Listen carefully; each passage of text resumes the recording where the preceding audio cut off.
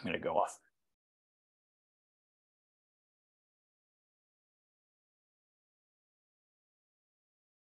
Hello and welcome to episode two of Patio Perspectives. I'm your host, Paul Salinger. I'm a board member of the Society for Sustainable Events and also a former VP of marketing at Oracle, where I led the uh, global uh, initiative for sustainability for events. Uh, Patio Perspectives is a combination of short essays on event sustainability topics combined with interview style virtual events that take place on the third Wednesday of every month at noon Pacific. Today, we're talking about food and its role in events and how the choices we make when it comes to food can be a part of your carbon reduction strategy. Our core belief is that we emit too much carbon and we consume and waste too much when it comes to live events. So let me just set a little context before I introduce our guest for today's perspective. Let's state the obvious. Everyone eats. The thing about food at events, though, or even anywhere anyone eats really, is that it's not just about the food on the table. The food system is made up of a number of different components. And I'm going to share a screen, share something right now. Not that. Hang on. okay, here we go. Yeah. Okay. So uh, the thing about food at events, though, is that um, it's not just about the food on the table. The food system is made up of a number of components from land use to farming to how we feed animals to processing the food, transporting the food, selling the food, and ultimately disposing of leftover food or the food that never makes it to market. And that whole system creates greenhouse gas emissions, which we end up calling carbon in a lot of cases, but includes other potent gases as well. And it produces a lot of waste. Roughly a third of all food produced each year is lost or wasted. Then there's a few other issues with the food system. Here's a list from a recent blog post by uh, by Seth Godin, many issues associated, associated with the food system that have significant impacts on the climate. I'm not going to go through all of them, but as you can see, many of these things are not even just about food. It might, might be about farming. They might be about uh, decarbonized forests. They might be about how water is um, impacted from the food system. So this this was a really great list, and I think that it's something that we should all kind of pay attention to when we're starting to think about how we make our food choices, especially for events.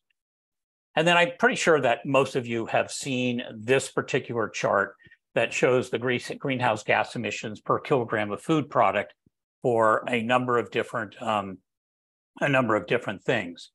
Um, so all of this is to say that while food may only be about 5% of the emissions from an event, it has an overall impact on climate change, and it's an area where the event sector can make a big difference when it comes to the choices we make in our food planning and working with food partners.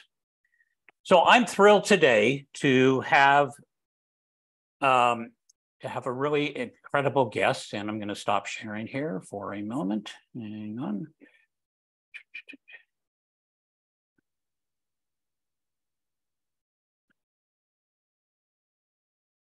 Okay, there we go. Okay. Uh, the founder and president, I'm thrilled today to have St- St- Tracy Stuckrath as our guest on Patio Perspectives.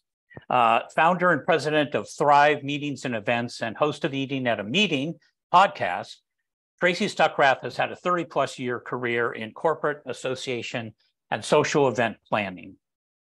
In 2009, her personal health changed the trajectory of her career she works with organizations worldwide to provide strategic food and beverage training and consulting to enhance employee guest experience, cultivate culture, and grow revenue.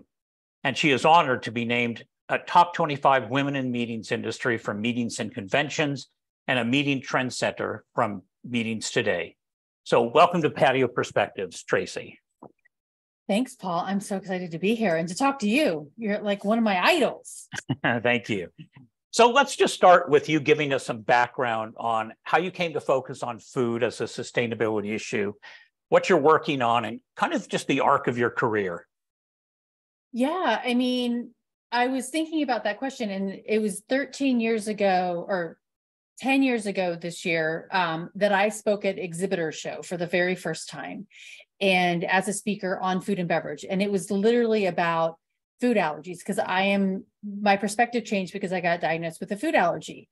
But over the last 13 years, um, I have realized that talking about food allergies and, and feeding me something, you're gonna wait, you're wasting the food. If you're making food for me, and I can't eat it, then you've just wasted the $75 plus plus plus plus that you spent on it. Right. And and all of the things that go in it to it. So it just really t- turned into a very connected conversation about that. Mm-hmm. Because when we don't think about or or plan food and beverage at events with intention, then we're we're really wasting an opportunity and wasting the food and which then turns into that sustainability conversation. Yeah, absolutely. Cool. So just looking at that chart that I just showed, it seems mm-hmm. intuitive that we should be moving towards a plant-based or at least a default veg strategy in our food mm-hmm. planning uh, for events, given the carbon and methane intensity of animal protein. What are your thoughts on that? Is it always the best way to go? Um, it it it's there's research out there that says, hey, it people are more inclined to eat that plant based that default veg version, which is great. And, and I'm always craving vegetables when I come home from events because we you very rarely see them. So I want to say yes, it is the great way a great way to do it. But there are a lot of things going on in our food system, a lot of players that are working for regenerative agriculture mm-hmm. aspects of it. So how can we utilize the meats um, the animal-based foods that are coming from regenerative agriculture um, farms as on land and at sea. Mm-hmm. But I also, in talking on my podcast a couple of weeks ago with Simon McCann from Wyboston Resort in the UK, he was also saying that they've done the research and studies at their own property that when they do that whole push the plant based 100%, a lot of it's getting wasted mm-hmm. because people yeah. are looking for that animal protein from that. So how do you balance that out? And we're we're trying to reduce the carbon footprint on the front end. Yes, that's great. But if we're wasting it all on the back end, that food waste emissions is it could be a third world country how much we waste. Well, yeah, not only that, but we know that methane even though it doesn't stay in the atmosphere as long, is like 80 times more potent than carbon is. So exactly, um, and a lot of that food just goes into landfill, which you know mm-hmm. then becomes methane. Right. Um, are you are you seeing are, are any of your clients really kind of seriously looking at turning their whole events into plant based or default veg, or how are they dealing with people that um, that do want to have meat? Do they have any kind of like an opt-in kind of a arrangement or how are they dealing with it?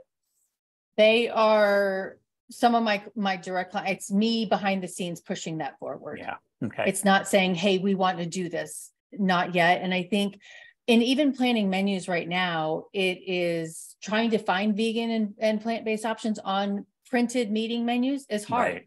Yeah. And so it's and a lot of and I was having a conversation with some planners about this. It's like people a lot of planners negotiate the 10% off on the printed menus, but if you do cut some properties like if you do customized menus, then you lose your discount. Mm-hmm. And so if they're forced to stay within a certain budgetary constraint and can't do that, it's really hard to come by sometimes. Yeah. And it you have to get in into it at the very front end at the RFP stage. For sure.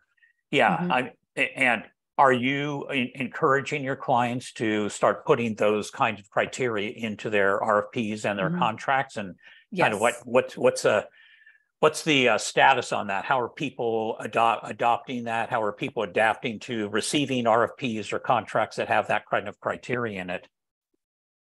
Um, I think it's they're looking for they they're looking for the questions to add into the RFP, and especially ones that their sales managers can answer. And that's another problem that we have is that a lot of the hotel sales teams are not educated on what their properties can do or already are doing. Right. And and so and i think that comes down to a lot of times really with the franchise properties that we're Mm-hmm. utilizing. Yeah. Because it's you know when we have a whole overall arching corporate buy from a property i think that's a, a bigger question.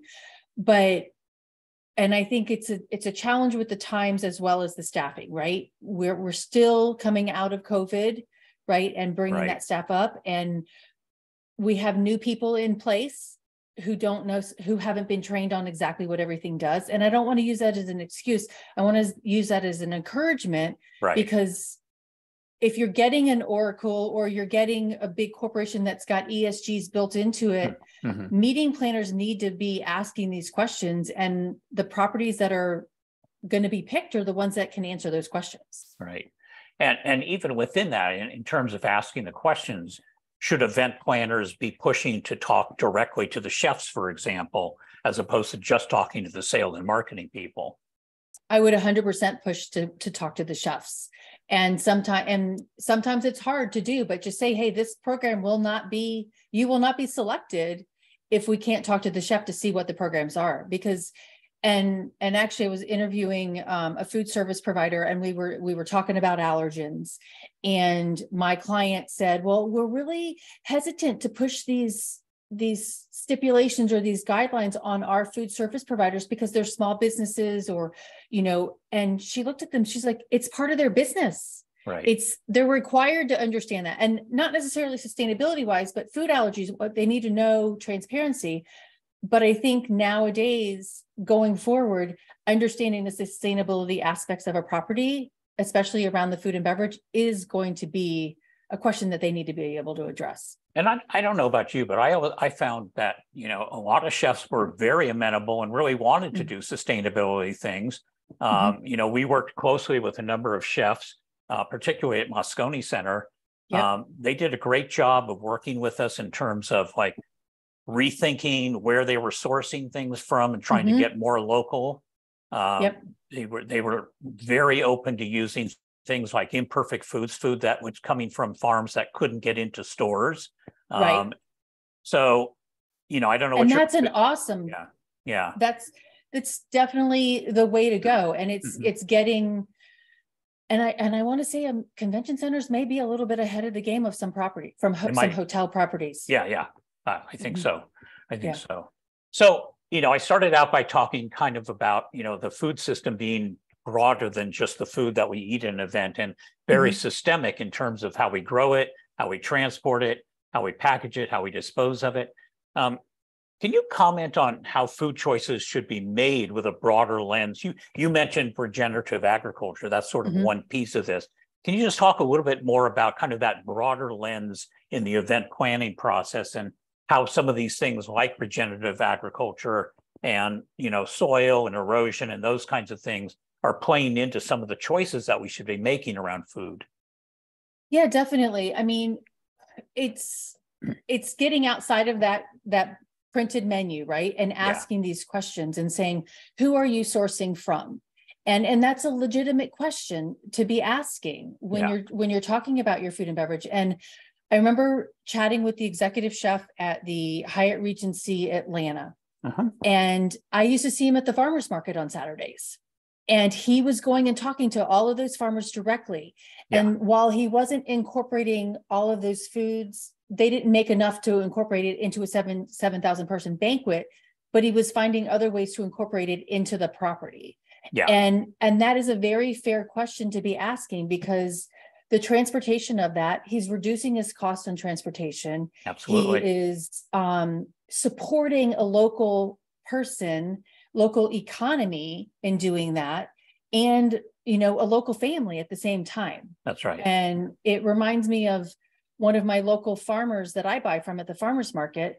They do sell to some restaurants in where I am. We don't have a huge convention center, so we're selling to small caterers and hotels, but they're changing their model and doing a a mobile cart once a week instead of going to the farmers market because Mhm. they're the family dynamics right now that are happening. Yeah. And so looking at where we're sourcing and how we're sourcing it and who, you know, is it um, how diverse is the sourcing as well? Are you looking at just white farmers or are you Right. looking at the BIPOC, you know, market out there? Who's got that? Incorporating some of those things in there. Yeah. Yeah, and obviously different regions have different diversity, but Right. um, but Mhm. absolutely. I mean, another example is we did an event uh in December at the One Hotel in San Francisco, which is Mhm. literally right across the street from the San Francisco Ferry Building and the farmers market that runs Mhm. there. They were sourcing uh, almost all of their food from directly from that farmers market. And they had a really good program in terms of like not only sourcing the food, but really thinking about the whole food and ro- trying to like really reduce their food waste. Right. Yeah. Well, and one chef who's now he's at Emory now, but he was at the Georgia International Convention Center.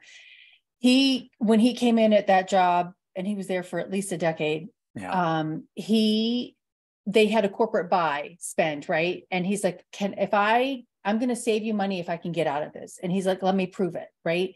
And he ended up canceling the contract with the with the big food distributor and Mhm. going 100% local. I, I say 100% local, majority local. Yeah. And he ended up helping these local farmers grow their businesses and and buy trucks and sell outside of just him. Mhm. And and that worked so much better. And he ended up saving the convention center money. Yeah. In the long run. And Yeah. Which I think is really great. And that, you know, it's it's something that I've been thinking about a lot lately of like, you know, if we're gonna if we're gonna really focus on sustainability and work on that, you know, how can we start rewarding people that are actually doing that kind of work? And Right. what you're talking about right now absolutely fits into that model of like, you know, can we, you know, work with our properties, work with the venues on how they're sourcing and actually rewarding people that are doing sustainable practices. Hmm Well, and Mark Cooper and I have talked about this, um, and with Mark's with the CEO of IACC, Mhm. and he has a planner that he references, and I won't reference the company name here without his permission, but there's they had a hundred thousand dollars to spend on sourcing, doing food waste management and all of that, and they wanted to put it into their program, and they're like, "We're going to give you a hundred thousand dollars to the extra so that we can manage that," and the hotel said no. Hmm. And because they didn't want to go through the steps of really kind of figuring it out and and Yeah. it may be time constraints, it may be staffing constraints, whatever it is, but this major corporation was willing to fork out on an additional hundred thousand dollars to do that, and they were denied. Hmm. And and another planner that I know, and this is from um Jim Spellos, right? Oh, This uh-huh. this planner had put it in the contract. We're going to donate all of our food after the fact, and and two weeks out, the hotel's like, please don't make us do this. really? Yeah, and it was it was this has been this is pre-COVID, but still they're like, and he was just that planner was flabbergasted going into the back of the house and seeing all these potatoes and all of this stuff Yeah. that's just going to go in the trash Right. can. Right. So it's we have to get and and it's the food ma- or the hotel property owners and management companies that we really I think need to get on board. I think the Marriott Globals on a on a broader perspective are Mhm. really in on this, but it's Yeah. it's getting down deeper into Yeah. the trenches of this. Yeah, I mean, it is a lot of education, a lot of behavior change that Mm-hmm. Right. needs to happen before we can really, you know, make the progress that we would like to make. Uh, Right. let me stop here for one second and just uh, again welcome everybody in the audience. If you have any questions, um, put them in the in the chat or in the Q and A. Uh, we'll try to get to them, you know, down the road. Um, so you mentioned you've mentioned regenerative agriculture a couple of Mm-hmm. times. You know, maybe we should just describe for people who may not know what regenerative agriculture actually is. Can you maybe give us an example? I know you've worked with a couple of different farms that are doing Yeah. regenerative agriculture. And I, I'm I'm not going to give you the blanket like scientific Right. answer on this, but and I actually really first saw it when I was I attended the slow food um Terra Madre Salone del Gusto event in Italy a couple of years ago, and Europe had this program called For Soil. It was a campaign about regener- regeneratifying our soil, and that's Yeah. really what it is is about. And it's rotating our crops, rotating our animals, Mhm. so that the soil is getting the nutrients that it needs to regentrify and regrow. um, and and make that soil healthier because there's a lot of farms out there with uh, chemicals, pesticides, things on it that have killed the soil, and yeah. the soil can't grow really well, you know, unless we we start doing that. And Will Harris from White Oak Pastures is one that's very passionate about it and has converted their farm, and they've got cows and pigs and chickens on there Mm-hmm. Cows, pig, those are all three different animals, making sure I called them all differently. um, and then also just that organic matter. I mean, because it really does help um regentrify the soil. And and I actually meant to bring it up here, but yesterday I was working at Starbucks, you know, just sitting outside enjoying the sun. Uh-huh. And I went inside and they have a basket now. Here is a bag this big of here's coffee grounds to take home. It was free. Uh-huh. And I'm like, okay, so convention centers, what are we, you know, hotels, what are we yeah, doing yeah. about that? But I'm like, my local Starbucks is giving away coffee grounds so I can go put it on my plants and my vegetables to regentrify and make that soil healthier. Mm-hmm. And they actually gave some information about the carbon of it and mm-hmm. and how it can actually make the soil healthier. So that's what that regentrification in a non-scientific way means. Yeah. And I think I think I've also seen even examples of uh, some some farmers who are doing regenerative agriculture adding in things like restoring marshlands, restoring peat bogs as carbon sinks to go along with what they're doing from a farming perspective, which again, mm-hmm. you know, helps in terms of sequestration of carbon, helps with, mm-hmm. you know, you know, just that whole idea of regenerating the soil. So, right. Well, and one of my friends, Will, is working with a um, company to help local farmers they're um, with the trees, right? Because we mentioned the deforestation, right? We're clearing mm-hmm. forests to create farms.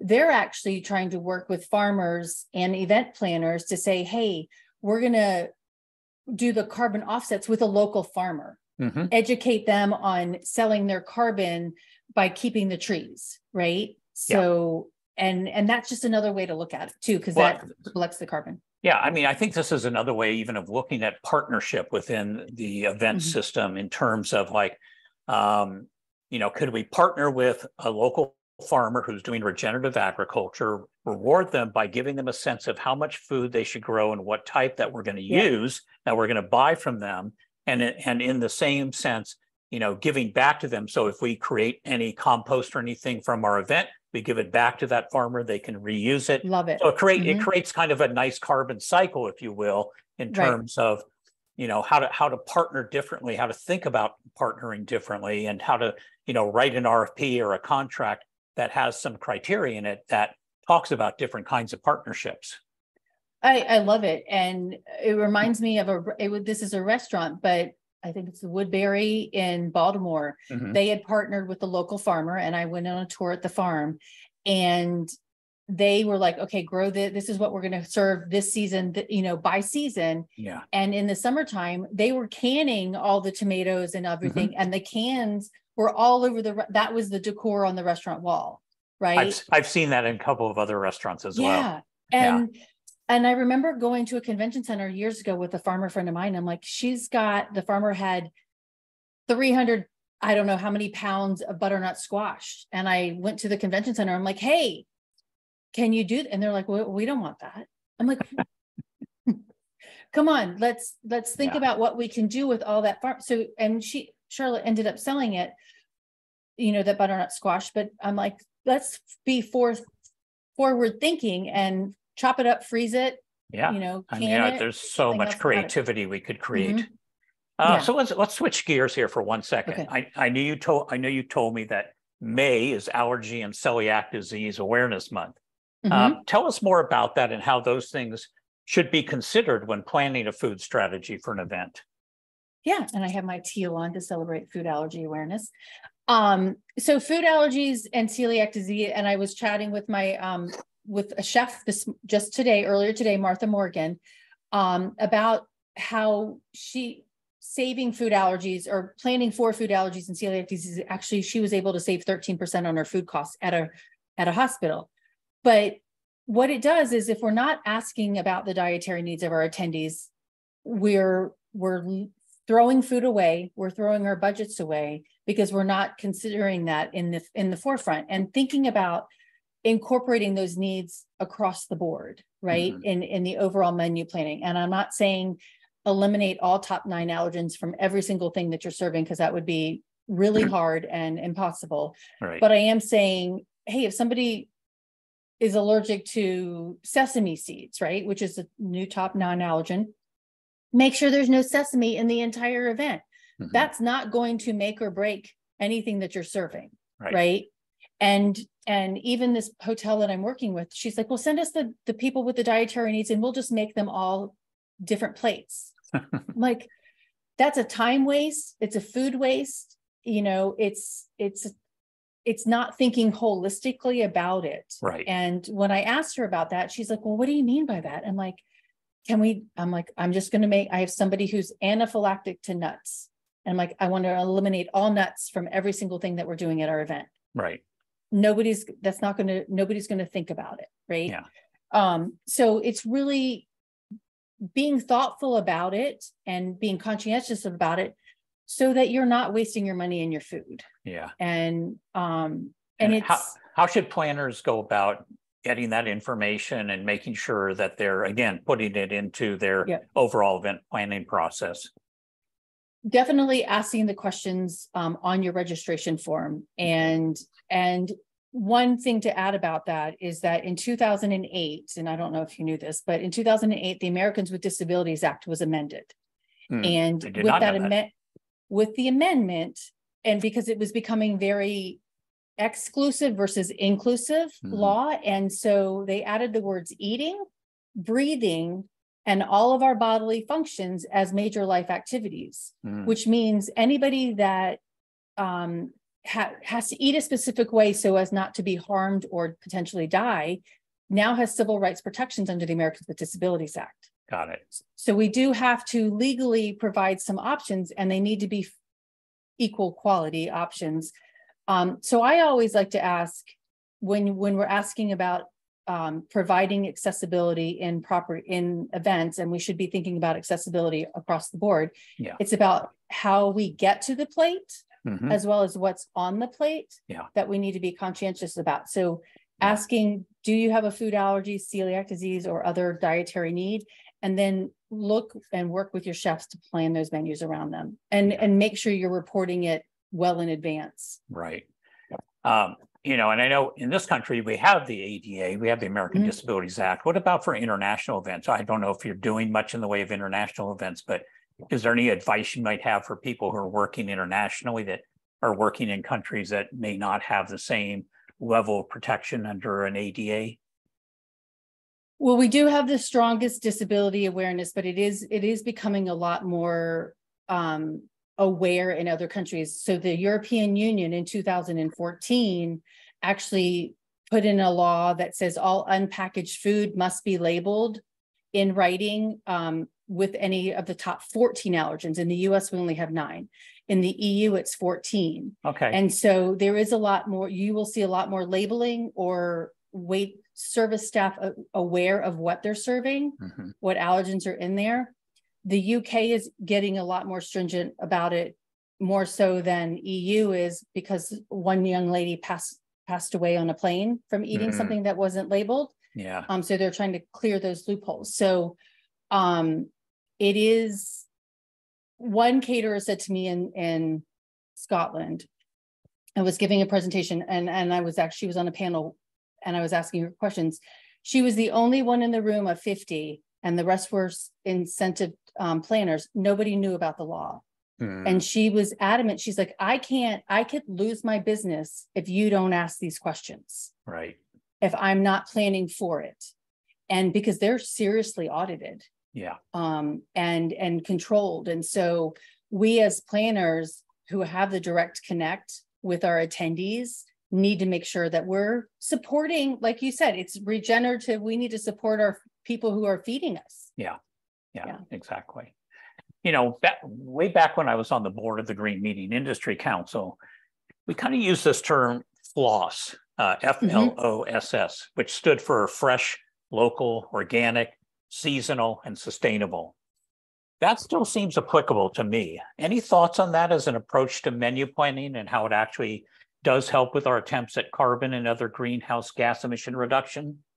All right, well, I have to say memory though, we were together in Portland Yes, at Green Meetings Industry Council uh, conference, and there was that poster in the kitchen Right, of that double exactly. tree. I think that's when I Exactly. first That's met you. it. Yeah, that's exactly where it came from, was from Yeah. that double tree in Portland. yeah. I can still vision that, and that Uh-huh. was a long time ago. That was a long time Um, ago. No, I definitely think it is completely applicable. Um, fresh, local, organic, seasonal, and Sustainable. sustainable. A hundred percent. It, it totally applies to everything that we can do. It's just asking the questions. And I know I've got a couple of checklists on, you know, on, hey, here's some questions to ask. Where are you sourcing your fish from? Who are you sourcing your Mhm. chickens from? And people are like, well, what do I know if right the, what the right answer is?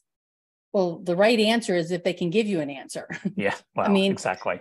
First and foremost is like if they're like huh right that's a big clue but if they can address some of these things it's really important to start with but it, it is asking the questions of our partners where are you sourcing your food from It, it really does seem to come back to that in a lot of cases, just asking the right questions and Yeah. following up and, you know, Mhm. really, really understanding, you know, the locations and the venues that you're working with and where they're sourcing from. And, you Mm-hmm. know, if you want to, if you want to run a truly sort of FLOSS event, um, you know, you really do have to ask those questions because a lot of, a lot of venues either don't know, don't care, or, you know, will kind of like try to just bypass that question when you ask them. Ex- exactly and i think you know we can learn more when we ask more questions right Yeah. not only are we learning because we might not know like hey you're in the middle of tennessee and that hotel doesn't know the questions but and i know there was a story in one of the meetings magazines about a planner who had gone to a property and said well we want to donate our food any excess food after the fact and they're like well we don't do that and Yeah. i've actually been at a property that said that well we don't do that well this planner told the story of how she went out and found the partner Right. for that convention center and that convention center has now partnered with them full time to do that so we may do need to be doing a little bit more of the legwork up front which my pun is that meeting planners have a ton of food already on their plate or not food but things on their plate to, Right. to handle Right. and we're adding that to it but it makes us better stewards for our jobs Yeah. and and the planet and potentially for the bottom line Yeah, exactly, exactly. So let's talk about packaging for a minute. Um, You know, a lot of events do things like box lunches or other types of pack package lunches that might involve single-use plastic or, you know, just non-sustainable materials. How do we how do we make those more sustainable? I, again, it probably comes down to asking a lot of questions, but right you know how how how can planners work with their venues their chefs whomever they're dealing with from a food and beverage standpoint to really impress upon them the need to use compostable packaging and or sustainable materials in their packaging if they're doing those kinds of um, you know box lunches or packaged lunches Well, I, I think, again, it's, it's asking the question, but I do think a lot of it comes down to the cost of some of it too. Mhm. Um, I mean, I live in a small town and, and Paul, it drives me nuts because I think there's one restaurant that does not use styrofoam in my town and. right And, and that's the cheapest thing and it weighs less, you know, than some Mhm. of this other things. So it does come down to a cost perspective, but if you can bring a player to the table, pun Mhm. that can help them and maybe introduce them to other alternatives. I actually got a press release from a company for the, that's exhibiting at the National Restaurant Association show this week. And um, I'm gonna go meet with them because that's what they do. But it is saying, okay, I, I don't know if you can hear the ice dropping in the background, um, behind me, but um, the w- reusable plateware, reusable silverware, reusable napkins is definitely better for the environment. um, then the next one would be that compostable version of that.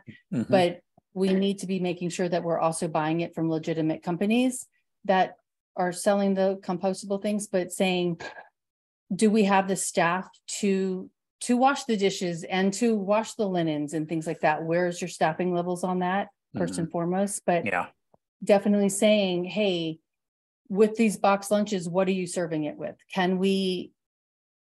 Because, and actually, I'm ordering a box lunch for an event next month. What is it served in, right? right, Can we use, even though they're having a box, box lunch or a box lunch, can we use reusable silverware? But then how do you Mhm. collect that all? right. right? So it's really, it's the logistics question of it and how can we partner with them to, for the logistics of it? I hope that Yeah. answered your question. Yeah, I mean, y- I- yes, I think it did. Um, you know, I think I, I, part of part of me wants to always ask the question though of like, why are we so focused on cost all the time? Why does it always have to 100%. come down? Why does it have to Mhm. co- always come down to cost? You Mhm. know, is it more important to save a dollar here when it's going to cost the planet and society three dollars down the road in Right. terms of the cost of landfilling things, the cost of, you know, whatever it may be? I mean, I, it, it's really amazing to me that it always ends up coming down to a, a cost issue when, you know, what we should be doing is Mhm. looking at it again more holistically in terms of like, Mhm. what's the right way for us as an industry to think about these issues? Because long term, if the climate change becomes worse than it is, and if you know if landfills get worse than they are and the seas rise, we may not even have an event industry. So, would you rather pay now or pay pay now or pay later? One hundred percent agree with you. And, and actually Martha and I were talking about this earlier today on my podcast because she was saying she worked for corporate hospital company and Yeah. she has saved 13 13% of her food cost incorporating the dietary needs into the things, but it came down to, oh, well, no, we've just brokered a deal and we can get this stuff for even less than Mm. that. So the sales pitch, you know, how do we figure out that sales pitch to say it's a good thing for the earth, it's also a good thing for the bottom line in the long run. And and I think the more we incorporate some of these things into smaller aspects, Mhm, mhm. we can do that buying power, but it is it's tracking it, Yeah. right? Well, And uh, let's talk about that for a second because I, I I I totally get that. You know, convention centers have uh, contracts with big food distributors and Mhm. and you know uh, they get bulk pricing and all of these kinds of things. How do we how do we work around that when we're starting to think about regenerative agriculture and different kinds of partnerships and you know kind of breaking that barrier of like well you know we have a contract we're buying this for a certain price we can't you know can't go against that right. Um, well, that's a good question. I know.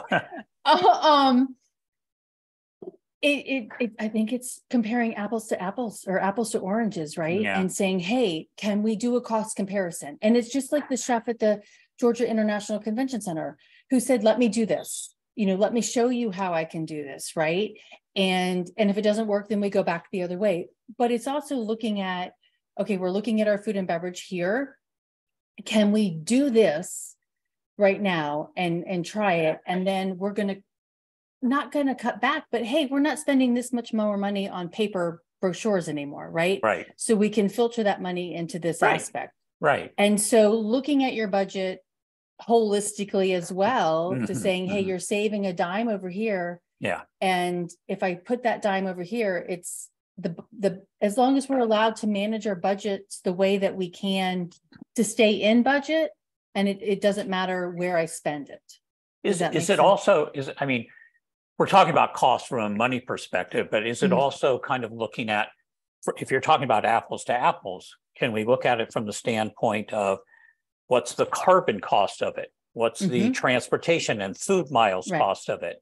You know, are there other factors that event planners could be looking at besides just pennies or Yes. dollars in terms of, you know, looking at their food choices and thinking about it from a carbon reduction perspective?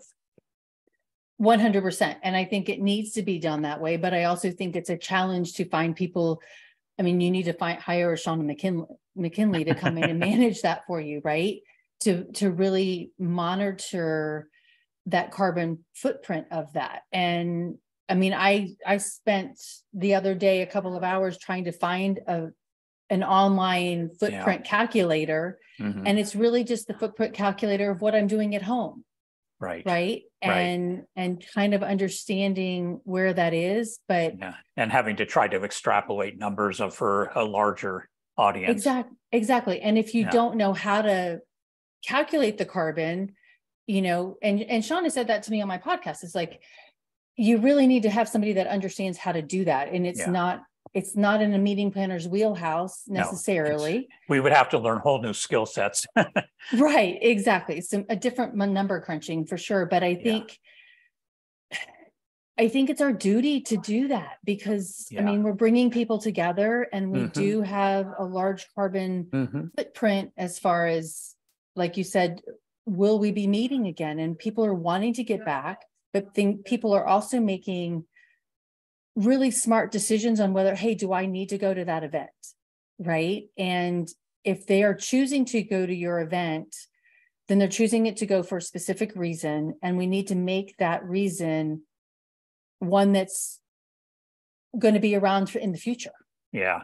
right? Yeah, yeah. So, um, and I, and I just think the numbers are there that people, the International Food Information Council has a lot of great stats on what people are looking for in their food and beverage, and that includes they want to make sure that fair, fair wages are paid. Right. They are making fifty, I think it's mm. fifty-two percent of people are making decisions on their food, and- their food and beverage choices are on whether it's sustainable. Right. And, and then within that group, it's like they think their choices around food and beverage have an impact on the climate change. And so if that's fifty percent of people, Yeah. right, Or thinking about that, then why aren't we looking at it? Right, exactly. Um, before we kind of wrap up, I wanted to Mhm. get one question that came in. Um, going back a little bit, can you expand on talking to chefs?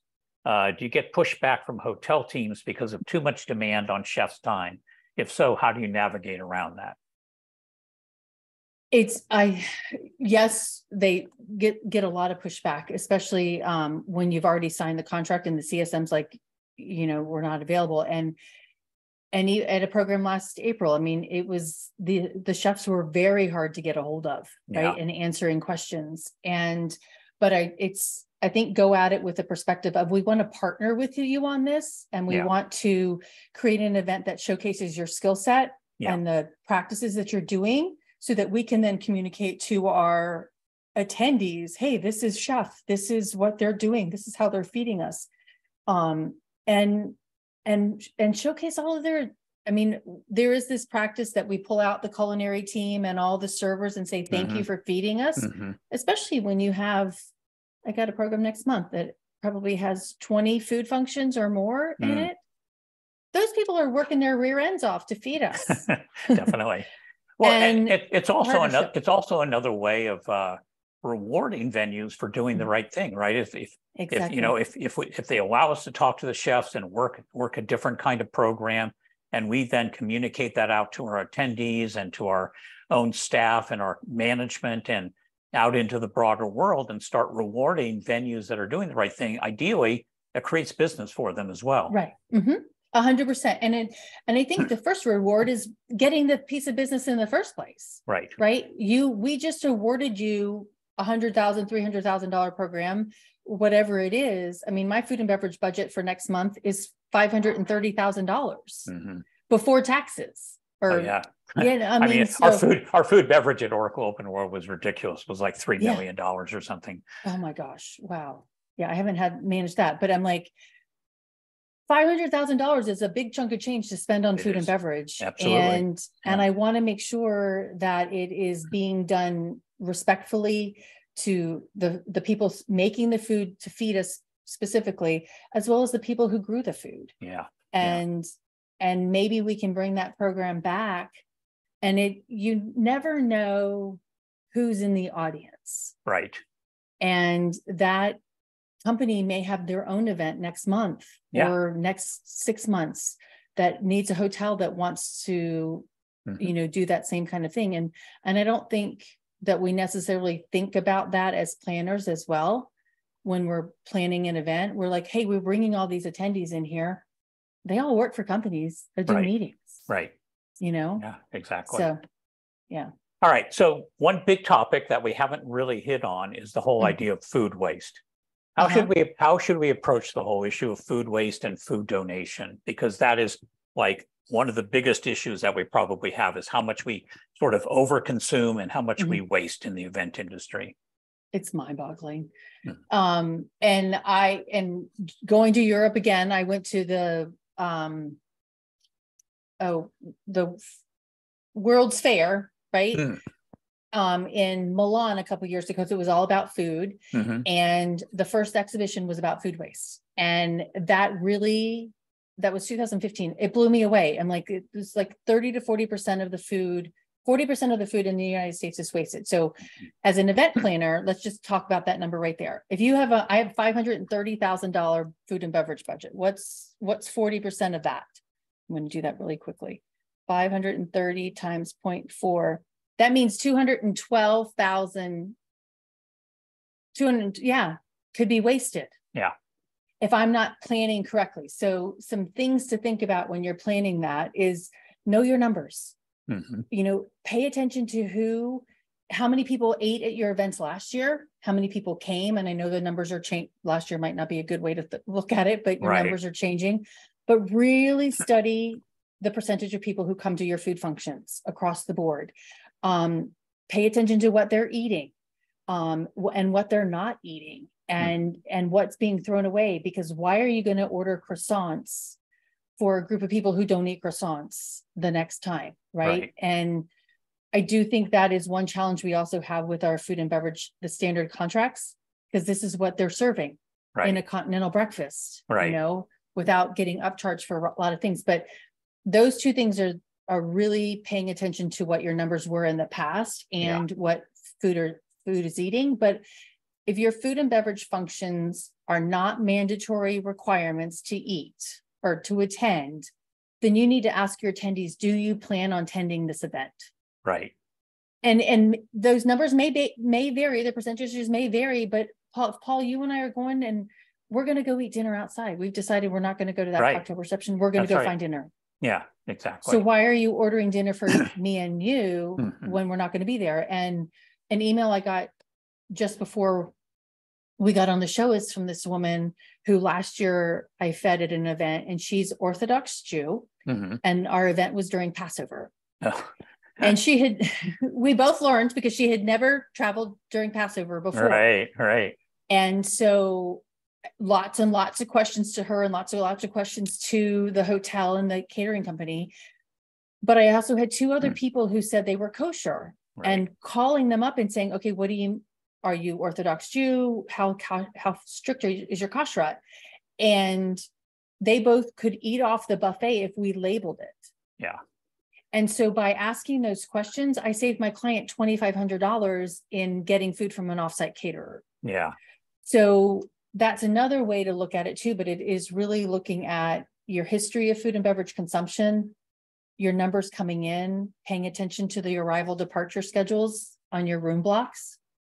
Um, and, but then the last piece of that is, so you're, so one that you're not order, over ordering, but the last piece of that is that you one hundred percent need to donate. And if you do not know about the Food Donation Improvement Act, Mhm. it came, it was signed into law in January. Mhm.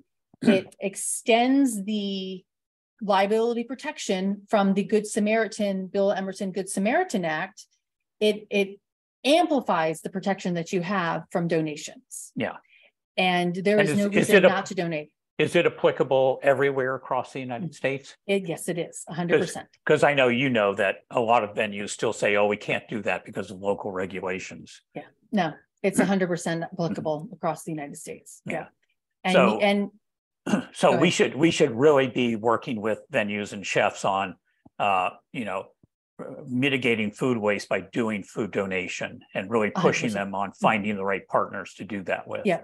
hmm And I mean, there's couple, there's companies that are nationwide that are doing that. Mhm. Um, but you can also find the local ones. And one of the, the new things with the um, Food Donation Improvement Act is that now you can actually, you don't need to hundred percent go to a food bank to make the donation. You can actually do it to smaller companies.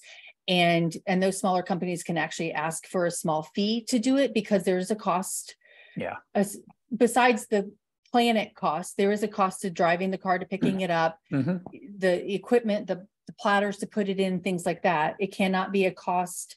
Like I'm gonna make money at it, but it's an expense cost. Um, but we can give it to other people and the, the liability protection is hundred percent there.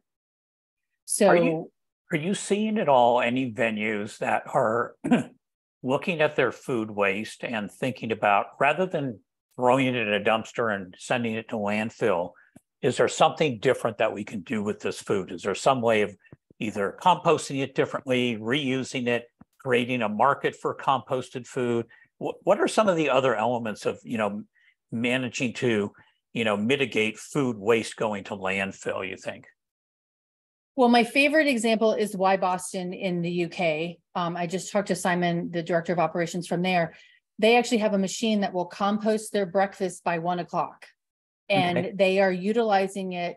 The other aspect of this property in the UK is that they, for every time you, every night you say, I'm not going to, or every guest says, I'm not going to have my room cleaned, they're planting a tree Hmm, and then they're using that compost and putting the compost on the trees. okay.